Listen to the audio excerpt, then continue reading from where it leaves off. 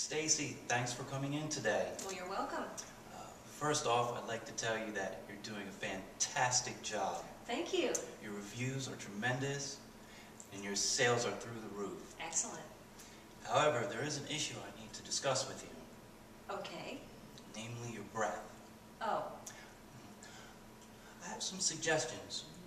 You'd consider these. okay. Of course, brushing after every meal, Mm-hmm. regular dental checkups. Mm-hmm. You could even consider keeping some mints in your desk. All right. However, we frown on gum chewing, so mints would be a more optimal solution. Okay. Fantastic.